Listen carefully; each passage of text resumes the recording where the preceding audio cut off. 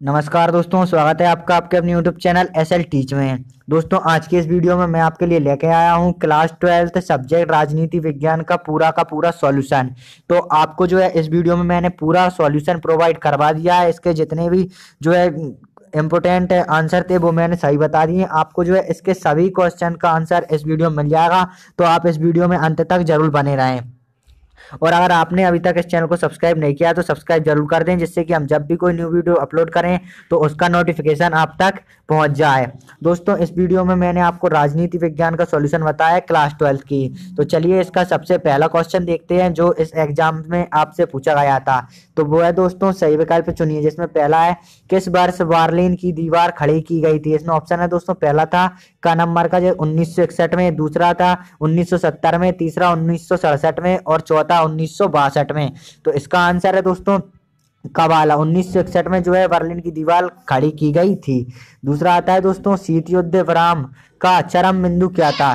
शीत युद्ध का चरम बिंदु क्या था? तो इसका आंसर है दोस्तों,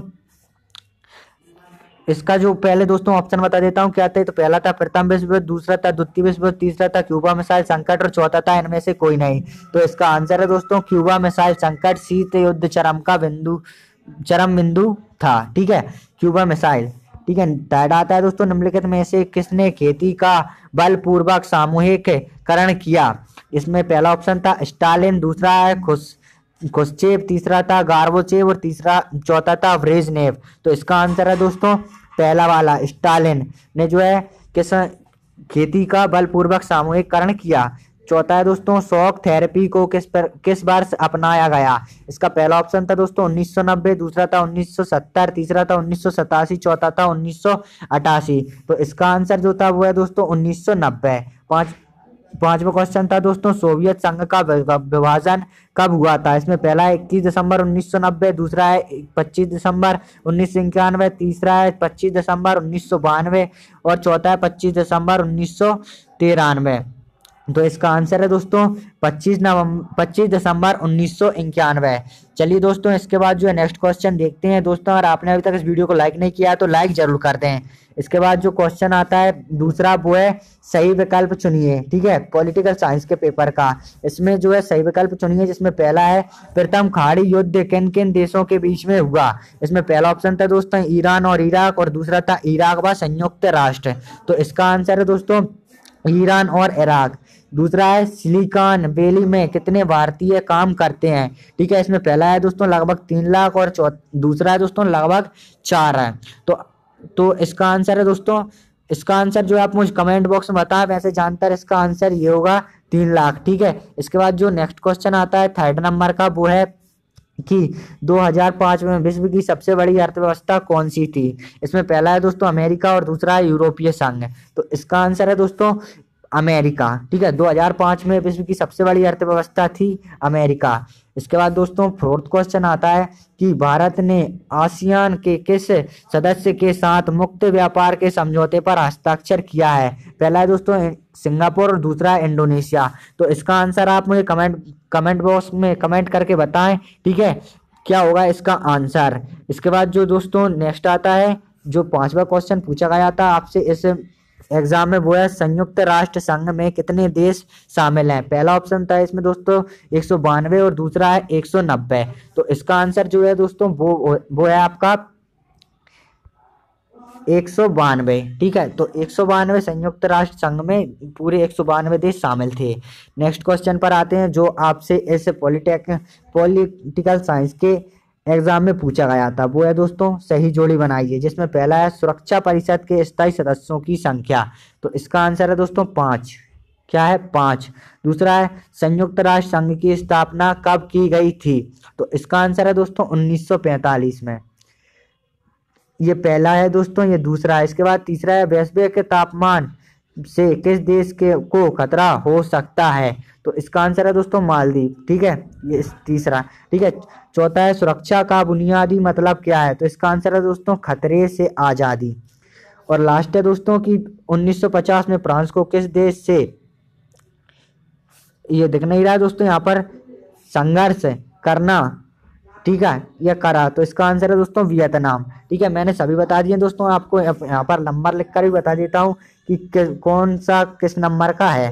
तो यहाँ पर जो है दोस्तों, पहले का आंसर है पाँच। तो ये पहले का हो जाएगा, दूसरे का है 1945 ये दूसरे का है। तीसरे का है वैश्विक तापमान से तो इस तीसरे का है।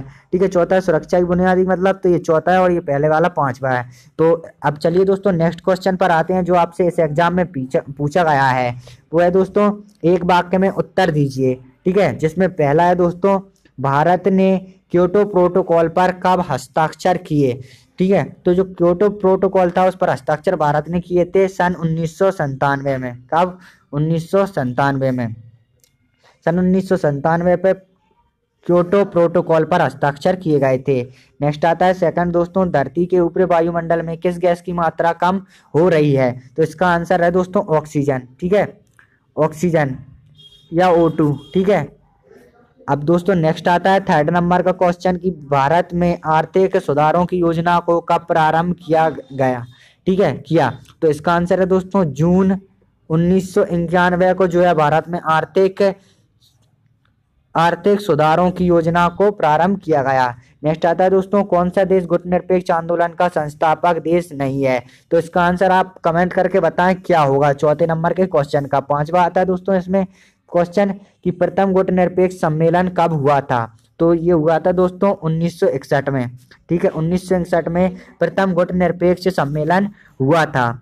चलिए अब हम दोस्तों इसके क्वेश्चंस पर आते हैं, जो कि आपसे पूछे गए थे। अगर आप इन क्वेश्चंस का भी आंसर चाहते हैं तो आप तो अगर आप इसका जो है अपनी कॉपी लिखना चाहते हैं राजनीति शास्त्र राजनीति विज्ञान का तो आप इस तरह लिख सकते हैं। यहाँ पर देख सकते हैं, आप पहले क्वेश्चन का आंसर दिए हुए हैं सभी।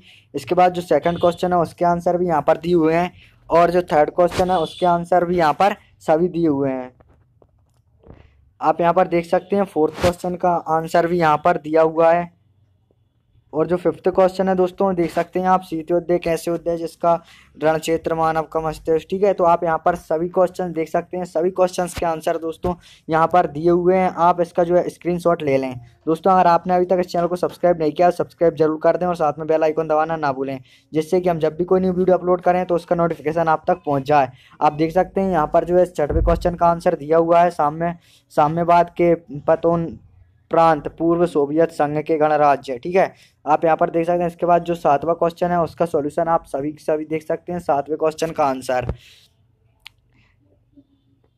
सात के बाद दोस्तों, यहाँ पर नेक्स्ट क्वेश्चन पर आते हैं तो यहाँ पर जो है आठवें क्वेश्चन के आंसर आप देख सकते हैं। सभी क्वेश्चन का सॉल्यूशन दोस्तों, आपको इसी वीडियो में मिल जाएगा। इधर उधर भटकने की कोई भी ज़रूरत नहीं है। अगर आपने अभी तक इस चैनल को सब्सक्राइब नहीं किया तो सब्सक्राइब ज़रूर कर दें। ये नवा क्वेश्चन है दोस्तों, इसका आंसर देख सकते हैं आप। इसके बाद जो दसवा क्वेश्चन है, उसके आंसर आप यहाँ पर देख सकते हैं। सेना का प्रबोध लोकतंत्र, हेतु अंतर्राष्ट्रीय समर्थन। ठीक है? दोस्तों, सभी क्वेश्चंस के सॉल्यूशन इस वीडियो में आपको दिए हुए हैं तो आप इस वीडियो को अंत तक ज़रूर देखें। अगर आपने अभी तक लाइक नहीं किया तो लाइक ज़रूर करें दोस्तों। यहाँ पर देख सकते हैं, ये ग्यारहवें क्वेश्चन का आंसर है। फटाफट दोस्तों लाइक करें। इसके बाद नेक्स्ट आता है यहाँ पर। नेक्स्ट आता है जो कि आप देख ही सकते हैं, अंतर्राष्ट्रीय शांति का प्रयास। नेक्स्ट आता है दोस्तों, इसके बाद शांति, भंग की परिस्थिति को टालना। ठीक है? इसके बाद जो नेक्स्ट क्वेश्चन